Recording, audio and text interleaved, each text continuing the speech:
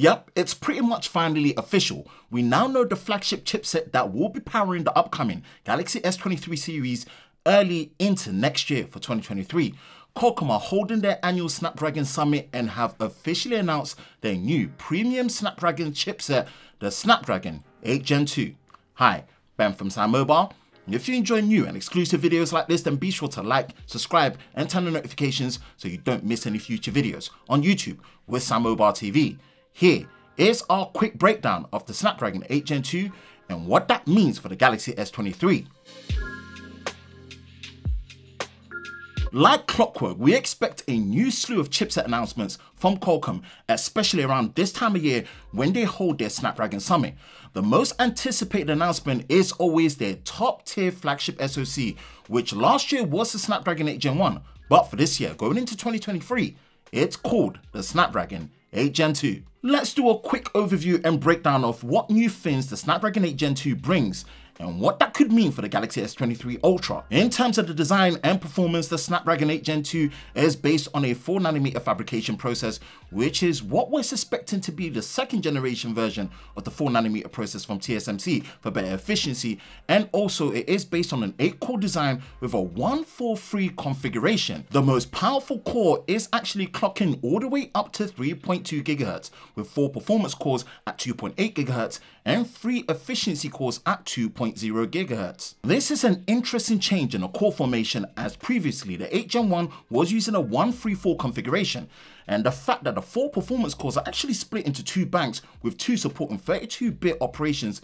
for legacy applications and two supporting 64-bit operations. What Qualcomm are stating is that the new SoC is up to 35% faster for the CPU performance with up to 40% more efficiency when it comes to power draw. Now the GPU on the other hand is up to 25% faster with up to 25% efficiency when it comes to power draw. Considering how much focus there is around AI in SoCs nowadays, Qualcomm is not missing out on the chance to showcase their claims of improvements, which is said to be up to 435% faster thanks to the use of their AI engine, including their Hexagon-based processor built into the 8 Gen 2 chip. There is also now support for LPDDR5X RAM with up to speeds of 4200 MHz and support for UFS 4.0 storage, which is a first on a Snapdragon chip. Another first for Qualcomm is the introduction of Wi-Fi 7 and Bluetooth 5.3, thanks to the use of Qualcomm's Fast Connect 7800 mobile connectivity system. And also thanks to the integration of the Snapdragon X70 modem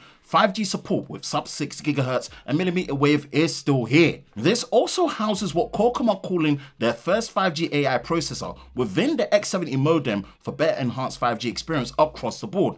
How this will actually work in balancing speeds and efficiency is yet to be determined, but it is good to see the attempts to make the 5G experience a lot better for mobile devices. The focus on the camera experience not only brings features like 8K HDR at 30 frames a second capture, but also centers around a fast capture experience with Qualcomm claiming zero shutter lag with 108 megapixel image captures at 30 FPS. Now this could be a great benefit for flagship Galaxy devices as improvements to the shutter speed would be much welcome. Gamers are not left out when it comes to the improvements that 8 Gen 2 brings with the Adreno 740 GPU, with features such as hardware-based ray tracing in real time, Vulkan 1.3 support for up to 30% performance uplift in supported games, and also going as far as enabling support for Unreal Engine 5, which is a first for Snapdragon.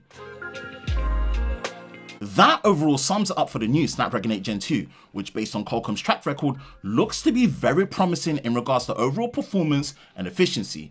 Now, real world testing will be the final judgment, but what does that actually mean for the upcoming Galaxy S23? It was officially announced on stage that Samsung will now be joining the Snapdragon Pro series as the presenting partner for 2023.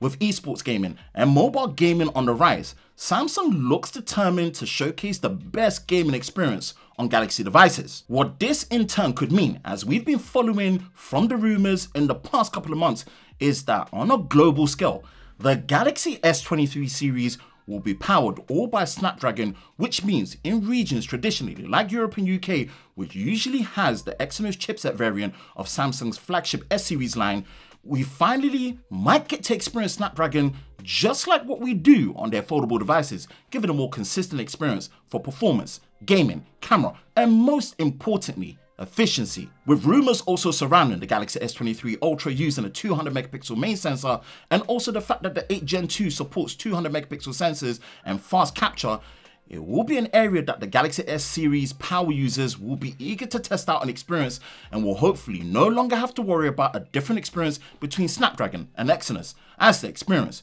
should be consistent across all devices in all regions. Let us know your thoughts on the newly announced Snapdragon 8 Gen 2 and are you finally happy to see that potentially all S-series devices from Samsung will have the same chipset just like what they do on their foldables in all regions?